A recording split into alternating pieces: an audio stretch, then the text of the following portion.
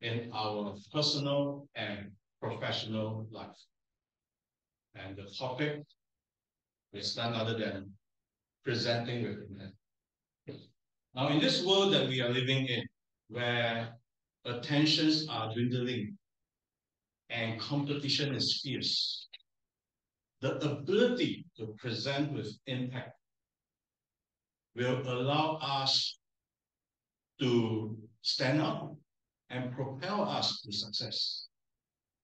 Whether you are a student giving a presentation, whether you are a corporate executive giving a business speech, or even if you're just a speaker in a social setting, the ability to present with impact will make you stand up and will make you be sought after.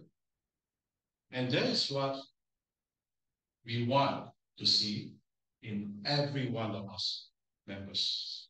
And that is precisely why we are having this workshop called Present with Impact.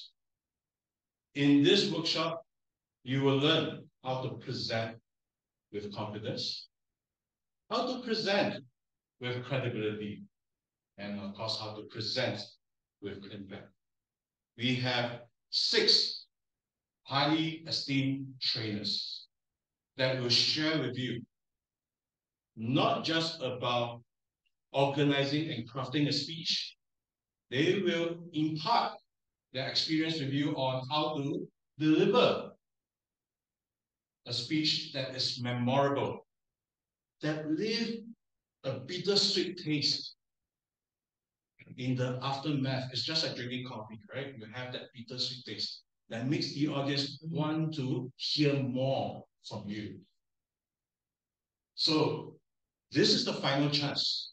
Because after today, the moment you walk out that door, the application is closed.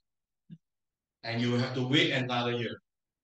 So don't live with regret, my dear friends. So what you're going to do is this. When we go for our break, look for this beautiful lady in red over here. She's the organizing chair. She's our very own Tia Maria. Let's give her a round of applause. She is one of the most remarkable organizations I've ever seen because she has painstakingly going through different clubs to promote this workshop and also to promote Changkat. And for that, she deserves this honor. So, ladies and gentlemen, in essence, the ability to present with impact is important. I hope you guys cherish this idea grab hold of this opportunity and take that first step. And together, we can all be impactful speakers of Changkat. Thank you.